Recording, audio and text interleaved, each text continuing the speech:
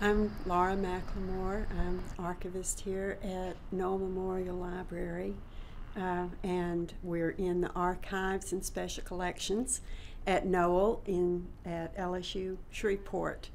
Um, we're specializing in the history of documenting the history of Northwest Louisiana and the Red River region. Uh, we have here today some of the um, things that we consider the stars in our collection. Uh, one that we're proudest of that kind of is the opening of what what one would consider modern uh, Northwest Louisiana. I think is the clearing of the raft of the Red River in 1873. This volume is a collection of 107 photographic plates that were taken by um, R.B. Talfor to document the uh, progression of the clearing of the raft in the Red River in 1873 between Natchitoches and uh, just above Shreveport. It was particularly important. It was the last and most successful clearing of the Red River raft, and it it enabled Shreveport to become a really important trading port for, for the rest of the 19th century. Unfortunately, for some of the crew of the aid uh, with the Army Corps of Engineers, their visit to Shreveport coincided with the yellow fever epidemic of 1873, which just decimated the population uh, Lieutenant Eugene Woodruff, who was in charge of the uh, raft clearing um, project, came into town to reprovision his boats and was caught up in the epidemic and uh, decided to stay and assist.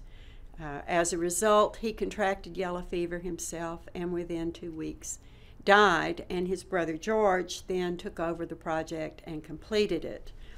And we have the papers of Eugene and George Woodruff here. They go with the album. This is one from George to his mother in March of 1873. Um, he says, This week has not been very eventful. The raft of drift number seven, at which we were working last week, has been removed, and after pulling some snags, we proceeded to number eight. This lies in a place where the river is narrowed and divided by towhead islands and is shallow, at least in that part chosen for the channel. This makes it slower and more difficult to remove the raft, which is much the longest we have had, though composed almost entirely of cut drift. These photographs have been used extensively for uh, books on the Red River region and uh, particularly for Louisiana history textbooks for um, eighth grade students. So we're we're very um, very pleased to have it.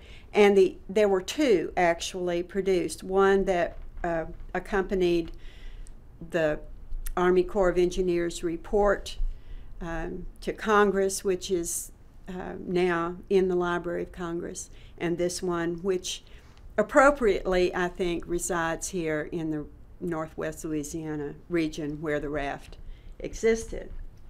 Um, a couple of these other photographs, we have many, many photograph, uh, photographs of steamboats since um, this was the outcome of the clearing of the raft meant commerce for Shreveport. And this, this particular photograph is of a steamboat, the Washita, which is pulled up to uh, Commerce Street, which is the street bordering the river in Shreveport. It looks quite a bit different than it does today. Another area of, of our history that, that people are quite familiar with, one way or other, is the oil business. And we've gotten a lot of attention recently because of the Haynesville Shale. But oil in uh, Louisiana is really the story of the 20th, 20th as well as the 21st century. The first well was drilled in 1901 in DeSoto Parish and in 1904 in Caddo Parish.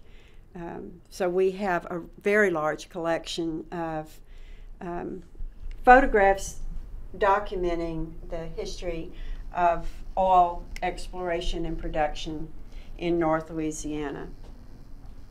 Um, one of the uh, interesting historical facts about uh, drilling in this area is that the first oil wells were drilled over a body of water or through a body of water in uh, as early as 1908 in Caddo Lake here in um, in Caddo Parish, and um, we have pictures documenting the very primitive now uh, steam engines that were used as pile drivers for these. And uh, one of the interesting things that, that we always note is that it's not just men at the, um, at the oil wells. Oftentimes, a photograph of the crew will include women and even children. When the oil business began in North Louisiana, uh, equipment was taken to the oil field with mule teams, and um, they were usually a large uh, contingent of mules pulling wagons through very uh, muddy streets. Often the wagon hubs were up, the wagon wheels were sunk in the mud up to their hubs, and the, the mules were sunk up to their knees. It was not uncommon. Our photographs also document the dangerous nature of uh, drilling for oil and wildcat wells back in the day when there was no regulation of any kind. Um, we have pictures as early as 1905 and 1907 of huge uh, oil well fires. These two, I, I think, demonstrate just how regular an occurrence uh, catastrophic fires were.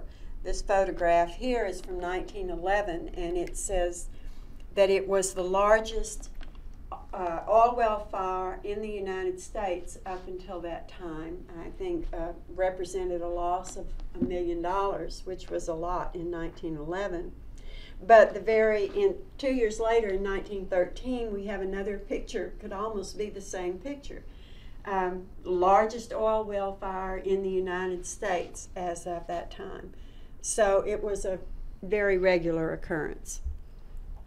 And so regular that uh, there's even a, a, a, man posing here in front of the, um, in front of the fire uh, in a very casual stance with his arm propped against a fence post. Here in our archives, we've been here since 1974 and have done um, a great deal of work in documenting the history of our region. We're the only institution in this area that fulfills this mission.